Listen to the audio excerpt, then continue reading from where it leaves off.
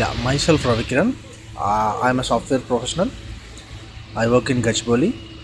So every weekend uh, on Friday we used to come here, and the food uh, over here it's uh, it's really delicious. Like I would say, we, we we usually come every weekend. We order chicken mandi, mutton mandi, then fish, and I think there is a combo also available, which comes with uh, some other variants. Uh, rather than mandi, we have some kupsu or something. Some rice is also available. So it's good. I rate it 4.5 out of 5, and uh, and I'll I keep coming here.